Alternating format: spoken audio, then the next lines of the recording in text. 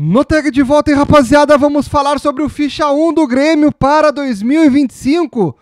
Finalmente, o Grêmio abriu os olhos para a lateral esquerda, que hoje é o nosso maior calcanhar de Aquiles. Nós precisamos de um lateral.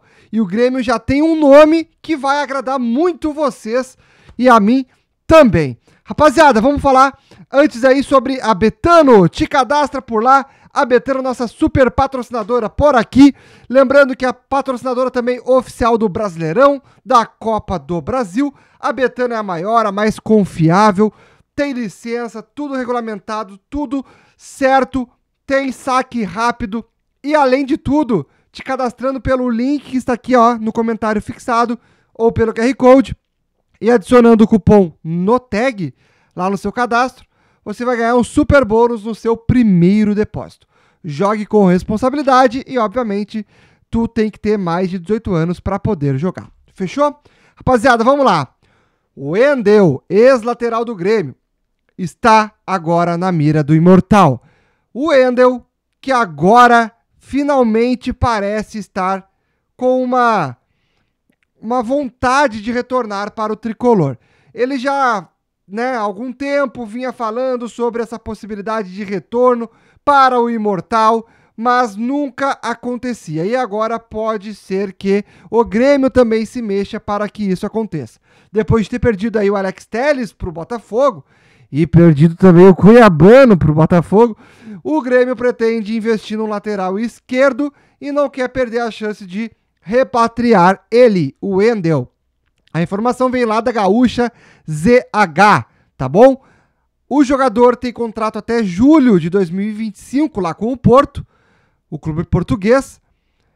O seu futuro é incerto, o que vai acontecer, o que não vai, mas o Grêmio já pode estar fazendo algum tipo de pré-contrato com o jogador. Lembrando que o Wendel visitou as instalações do Grêmio e revelou que, caso retorne para o futebol brasileiro, o Grêmio será sim a sua prioridade. Porém, porém, uma possível negociação é sim complicada para vir agora, já.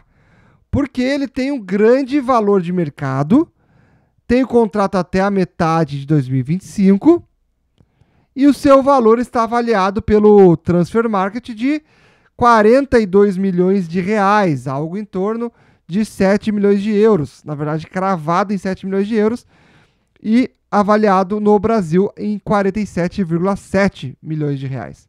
O Endel recebe um salário de 1 milhão e 600 mil euros, aproximadamente 9,7 milhões de reais por ano. Cara, é muito dinheiro. É muita grana.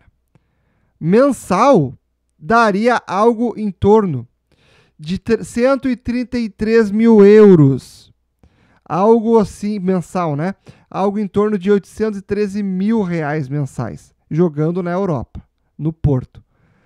Mas nada também fora da realidade do Grêmio, né? 800 mil, o Grêmio paga praticamente isso aí por várias lendas que tem hoje no elenco, então quem sabe saindo, baixando um pouco a folha salarial, tirando alguns jogadores que não vão ficar, o Grêmio consiga investir num bom lateral esquerdo. O Grêmio pode apresentar então um grande projeto para ter o Wendel.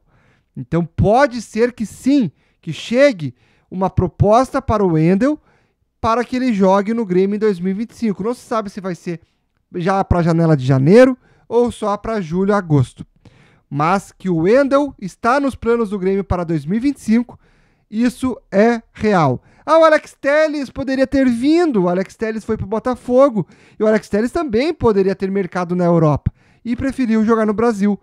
Muitos jogadores estão querendo vir para o Brasil, então, sim, existe mercado por aqui, existe sim uma possibilidade de acontecer esse retorno em 2025 de Wendel no Grêmio. A idade dele no tag. Qual é a idade do Wendel? Vamos pegar aqui para vocês. A idade dele hoje, atualmente, é de uh, 31 anos. Então, ele não é novinho e também não é velho. É uma boa idade para o Grêmio já tentar repatriar aí um jogador. O que vocês acham? Deixa o like, se inscreve no canal e não te esquece, também tô com um canal novo de games, é o Noteg FC, cara, super novo, só de Ultimate Team, para quem gosta do modo online do FIFA. Então, te inscreve lá também, vou deixar o link aqui na descrição, Noteg FC.